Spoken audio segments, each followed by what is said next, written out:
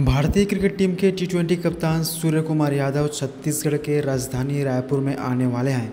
इसको लेकर उन्होंने एक वीडियो सोशल मीडिया पर शेयर किया है।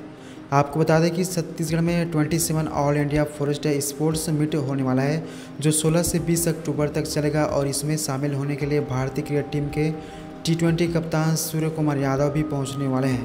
तो सुनिए सूर्य कुमार यादव ने क्या वीडियो संदेश जारी किया है। Jai Johar friends, I am Surya Kumar Yadav.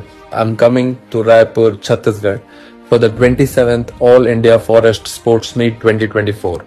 I am excited to witness the foresters display their athletic skills in this prestigious event.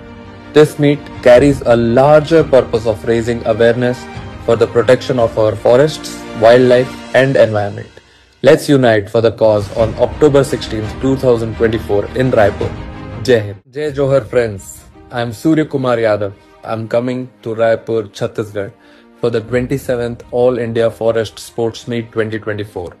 I am excited to witness the foresters display their athletic skills in this prestigious event.